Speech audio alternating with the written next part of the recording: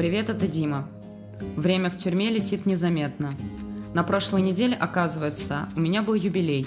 Полгода за решеткой, а значит и полгода без доступа к информации. По этому случаю вот вам зарисовка из жизни типичного российского телезрителя. Канал «Кажется, звезда» – одно из тех ток-шоу, где все друг друга перекрикивают. Вы такое вряд ли смотрите, а мне приходится. Приглашенный эксперт рассказывает про Илона Маска, что вкратце об архитектуре сети, характеристиках, способах подключения. Звучит довольно оптимистично, даже слишком для федерального канала.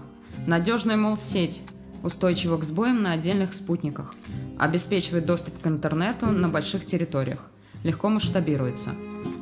Известно, как вывести из строя. Не дослушав, переходит к единственному волнующему вопросу ведущий. После небольшой паузы гость отвечает, что сделать это имеющимися средствами радиоэлектронной борьбы невозможно.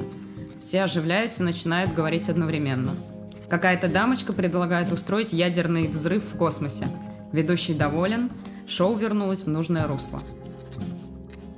Единственное, что помогает не сойти с ума в такой атмосфере, ваши письма, которые я читаю с большим удовольствием.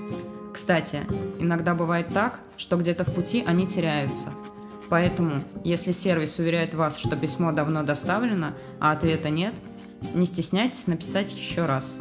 Всех обнял. 5 ноября. Матроска. Дима.